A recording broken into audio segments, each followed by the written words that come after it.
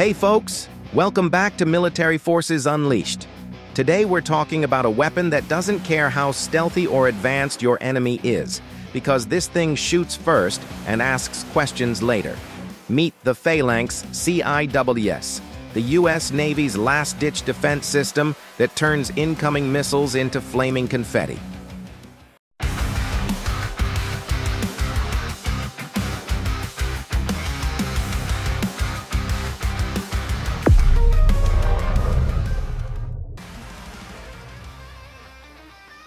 The Phalanx CIWS, short for Close-In Weapon System, was developed by General Dynamics in the 1970s as a response to the growing threat of anti-ship missiles during the Cold War.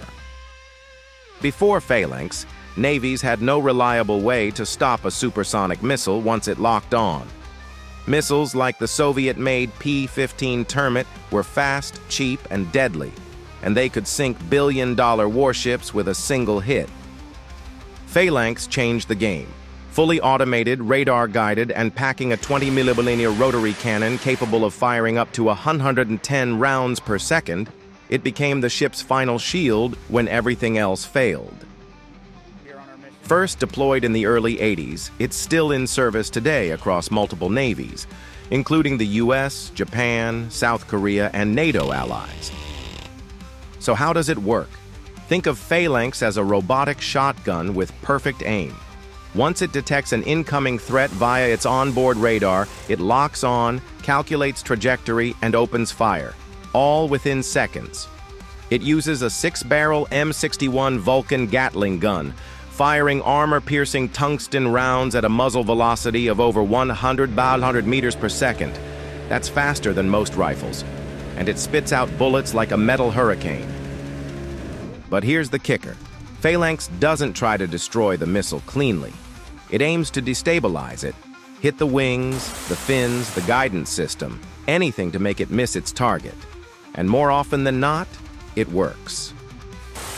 During the Gulf War in 1991, Phalanx successfully intercepted Iraqi Silkworm missiles. In 2016, off the coast of Yemen, it helped defend U.S. ships from Iranian-backed Houthi attacks. Real combat proof that this old-school system still has teeth. Oh, and one more thing. If you're anywhere near it when it fires, you better cover your ears. The roar is deafening, and the muzzle blast can knock people off their feet. Now let's get real. Phalanx isn't perfect. On the plus side, it's fast, reliable, and fully autonomous. No need for human input once it's locked on. It's also been battle-tested for decades and remains a trusted layer in layered air defense systems. But there are downsides. First, it only works at short range, usually under two kilometers. If the missile gets that close, you're already in big trouble. Second, the 20mm round isn't always enough to guarantee a kill. Some modern supersonic and maneuvering missiles can still slip through, especially in poor weather conditions or electronic warfare environments.